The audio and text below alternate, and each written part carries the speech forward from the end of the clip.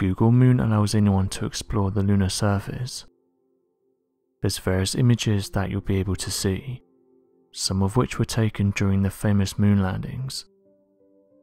Google Moon has already mapped out areas like the famous Apollo landings, along with various other sites across the lunar surface. Someone that was exploring the lunar terrain though has discovered something unexpected. They said that they often look through Google Moon, but on this occasion found various structures, stating that they range from what appear to be large blocks to elongated structures.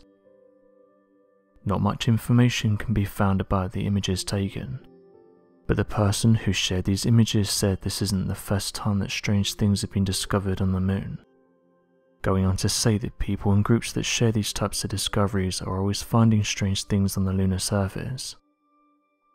One person said the following about the photograph. I don't think these are craters as you can see craters right next to this thing. In terms of how big it is, I'd say it's very big when compared to things around it. End quote.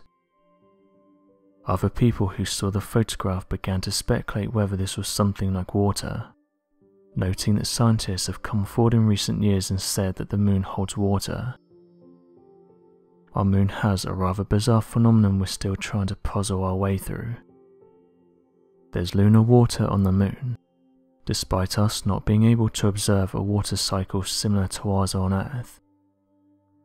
A recent study has reported clear evidence that there's water molecules on the surface of or held within the grains of the lunar soil. If we can research what kinds of water are available here, and precisely what that water is, then we may be able to fathom out the seemingly magical water cycle of the moon. Another study with groundbreaking revelations found small areas of the moon that are within a permanent shadow. This creates a cold enough environment for ice to form, with researchers saying that the space of these areas covers 15,400 square miles. Currently guesses indicate that the water cycle on the moon is carried through hydrogen in solar wind, and that's reacting with the oxygen on the surface. This is a stark contrast to our rain, rivers, and seawater cycle here on Earth. Other suggestions have guessed that the lunar water travels, migrating to remain in a shadowed zone, as opposed to one with the sun. Exactly how this happens still requires plenty of further research. Jessica Sunshine, a University of Maryland planetary scientist, says that these new findings suggest a much more complex process than we thought before. The practical application once we figure this out would be remarkable. This research has useful implications as to how humans may be able to travel, not only to the moon but also further beyond. The next NASA mission, Artemis, aims to place the first woman and next man on the moon. If we can understand the moon's water cycle before then, then we may be able to convert the water into a resource for energy. One trial for the lunar water to withstand is the harsh climate of the moon, with a high of 121 degrees Celsius and a more than chilly low minus of 133 degrees Celsius. It wouldn't be improbable for the water to evaporate, especially without a thick atmosphere but luckily for us, even in the sun, there are still traces of water, though these are faint. Based upon current observations, there appears to be 12 ounces of lunar water to 1 cubic meter, meaning the water, whilst existent, is very sparse. This is 100 times drier than the Sahara Desert. While there is water present on the moon, we need to conduct more observations more analysis and more research before we can take action with this discovery.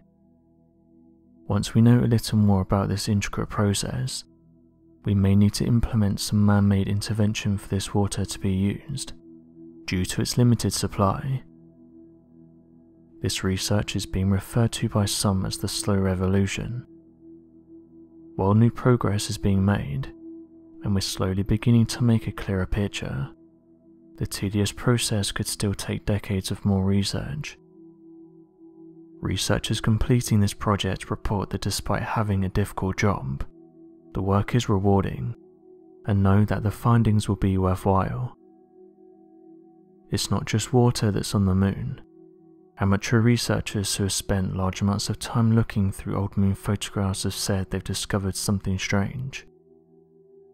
Right now, though, there's a group of people asking Elon Musk to go to the moon and saying they want him to investigate a mysterious anomaly, saying that whatever this thing is, it needs to be investigated as it looks like a giant ship, comparing it to Oumuamua and even an advanced ship. Some of those who've seen the photograph have said it's real, and that this could be proof that something else has visited the moon.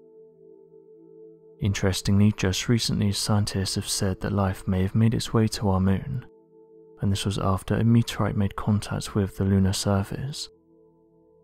Two senior planetary researchers said the moon actually has the correct conditions to support simple life forms, saying that these could have been present on the moon 4 billion years ago.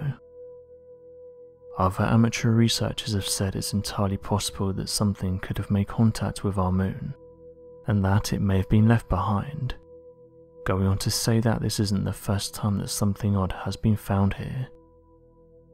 NASA scientists though have said that this photograph doesn't show anything of interest, and that they've never found any evidence of life on the moon, further saying that the most likely explanation for these photographs is that they're just camera anomalies.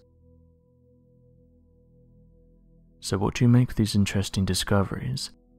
Be sure to leave your questions and answers in the comment section below and help us to grow this community while working to solve these unexplained mysteries.